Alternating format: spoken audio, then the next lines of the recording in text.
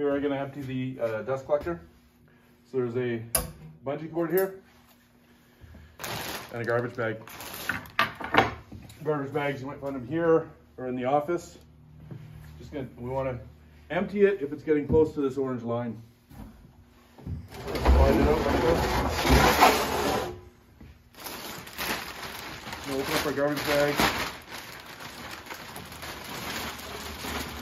Flip it over top like this. Sort of put the middle on. We'll take our bungee, just go around the top, connect it like this. And then uh, we're just gonna go around and tuck the garbage bag in, as much of the garbage bag over the top as we can get.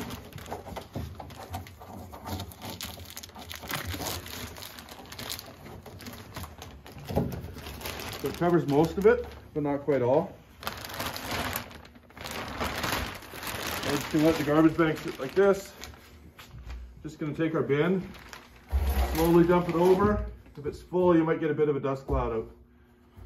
Once it's down, you can just tip it up, give it a little shake, a little lift, and all the dust will be in the bag.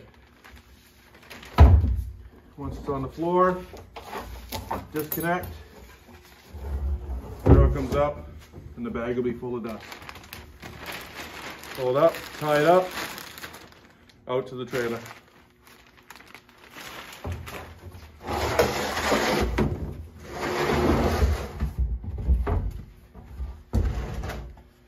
Just like that.